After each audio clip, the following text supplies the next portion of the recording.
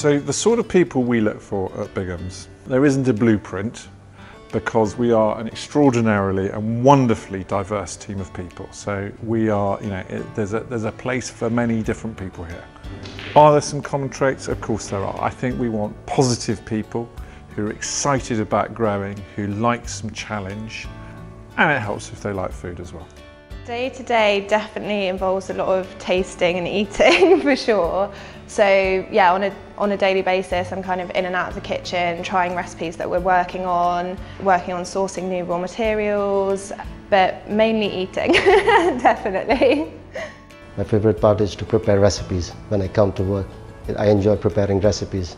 I can get to more, learn more ingredients when the new recipes come in. I make a Morgan sauce, which is very good, sweet and a little bit spicy. Then I first went to, to the production department. Then also there I found lots and lots of people within different languages and different coming from different places. I feel like when I first joined they were all very like welcoming, always saying hello, shaking hands and stuff, doing fist bumps. So yeah, it's been good all round from everyone, not just in Goods. All the time tell to my family, my friend, like come in here because here is amazing job. You you feel like uh, home, you know, inside you cook you cooking with uh, family.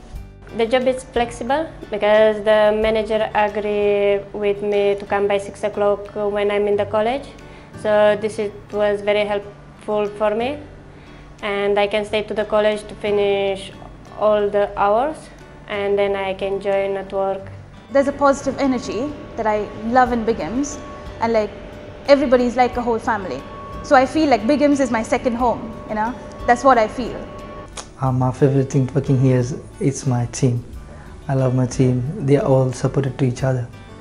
We are working as friends, colleagues. It's not like we are colleagues. We work as a friends.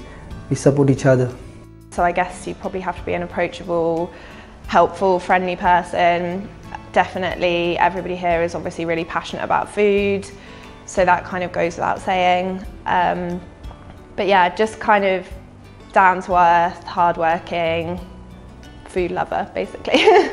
we all spend a lot of time at work every day in our lives, and there's just something uplifting about spending those hours in a building and in a place that, that works and has been really carefully thought about and that's what we've done here.